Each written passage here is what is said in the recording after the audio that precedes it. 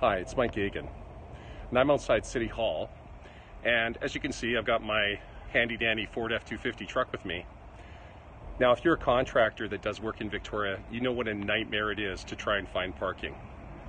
As the next mayor of Victoria, I will ensure that all contractors have access to a contractor parking pass so that you can focus on the work you're doing and not be worried about getting 20, 40, 60, 80, hundreds of dollars worth of tickets while you're simply just trying to do your job, helping to keep our city functioning smoothly.